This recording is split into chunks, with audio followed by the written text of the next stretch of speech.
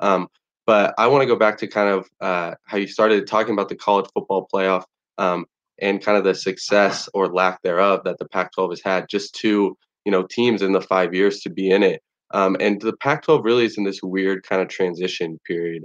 Um, the you know dom- USC dominance of the uh, early 2000s, mid 2000s is over. You know Stan- Stanford's run in the in the early 2010s.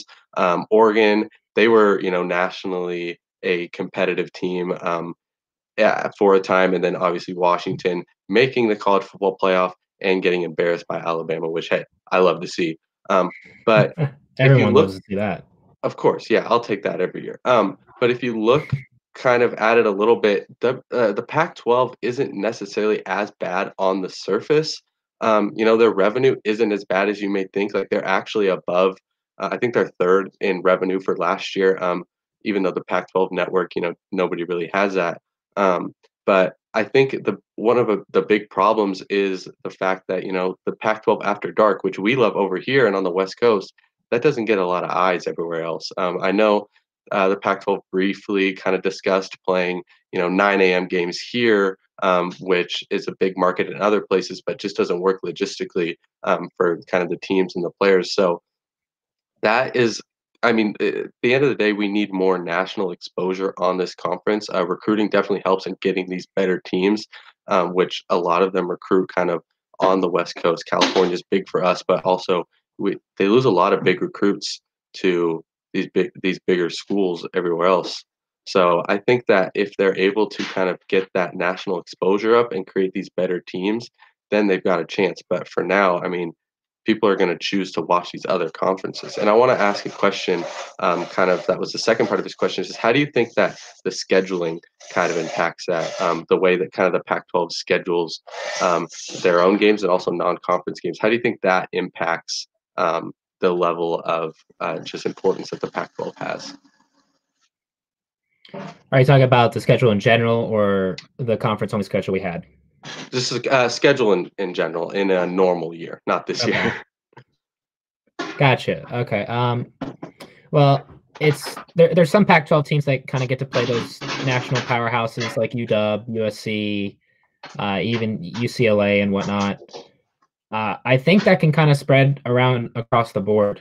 Like, you know, WSU, we were going to play Utah State, Houston, and uh, Idaho, the good old good old Vandals over there. Mm-hmm. and although they're uh, quote unquote wins, I guess, for a Power Five school, mm-hmm. you know, I want to see.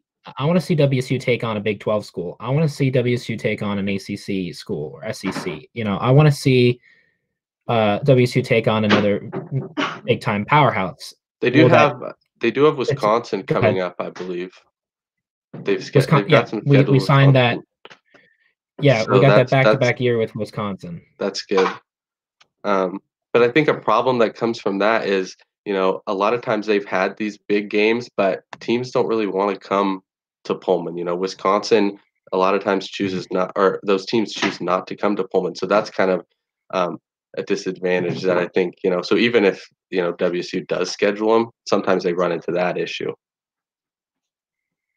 And the thing about the Pac-12 is I I consider Pac-12 to be probably the most competitive conference in college football, if I'm being honest.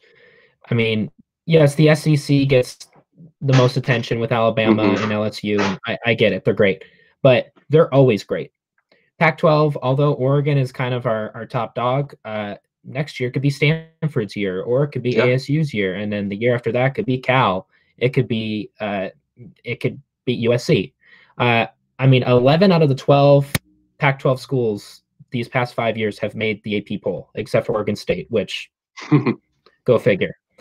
But point being is that there's always uh, competition.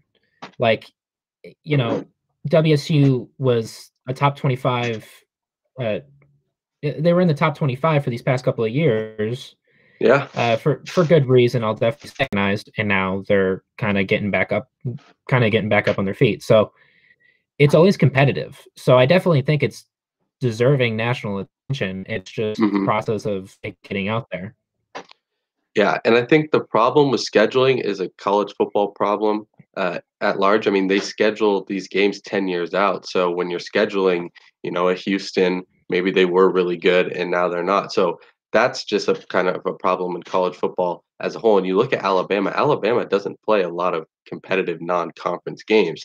They get these great games within their conference, which I think is something that the Pac-12 lacks. I agree with the competitiveness of it and saying that this is an extremely competitive uh, conference, but a lot of the times there's one good team a year. There's usually a team from the Pac-12 that kind of emerges, and they don't have these, you know, top five, top ten marquee matchups. Um, it's kind of they kind of beat up on each other, and then one team emerges. So I think that's another thing too is they're not going to get these marquee matchups from non-conference, which a lot of people don't. You know, Oregon has been able to schedule some. You know, USC was going to play Alabama this year. There's there are some good games, but they don't get these huge, you know, non. Uh, they don't get these huge conference games that ESPN goes, oh, we need to pick this up and show this to everybody. Um, so I think that's uh, one of the issues that they run into. And I think sometimes the competitive can competitiveness of the conference can hurt that because you've got you know four teams in the top twenty, but none in the top 10.